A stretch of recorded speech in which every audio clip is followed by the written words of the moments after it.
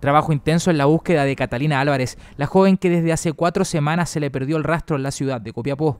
Viñita Azul es el sector donde se intensifica el rastreo, zona desértica, paisaje complejo, donde la PDI, ONEMI, carabineros y cuerpos de socorro intentan dar con el paradero de la menor. A partir de registros de antenas telefónicas, se logró determinar que el imputado circuló por este lugar la noche en que se perdió el rastro de la joven.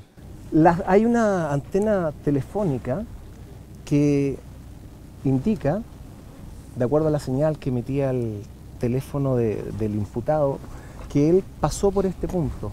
Nosotros no sabemos aún si él se detuvo en este lugar, arrojar el cuerpo de la víctima o desprenderse de él, o solamente pasó, pero es por el momento la única evidencia constatable de que el vehículo estuvo en este lugar.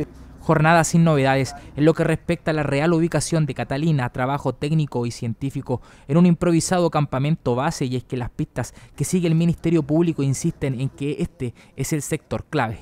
En este minuto tenemos gente de la Brigada de Ubicación de Personas de Santiago, eh, quienes nos colaboran en la coordinación en terreno con el resto de la gente y guías caninos también de Santiago, quienes están eh, enfocados a lugares específicos para el rastreo, eh, valga redundancia, con los caninos.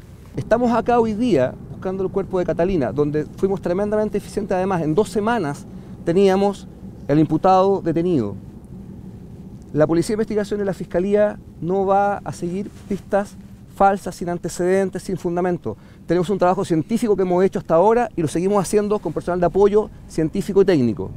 La familia llegó hasta acá también con la esperanza de buenas noticias en un corto plazo. La espera, dicen, se hace eterna, el panorama sea compleja con el pasar de los días.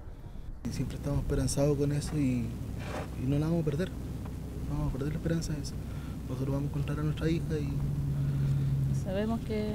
Y la vamos a tener con nosotros. Los va que PDI y otras personas van a, van a estar y están trabajando para eso. Y que va a ser bueno.